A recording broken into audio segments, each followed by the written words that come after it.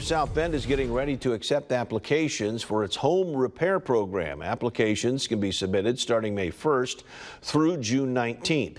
To apply, homeowners must reside in the program target area, which can be found on our website. Applicants must also income qualify and be enrolled in the city's utility assistance program. Households not currently enrolled can call 311 or enroll online.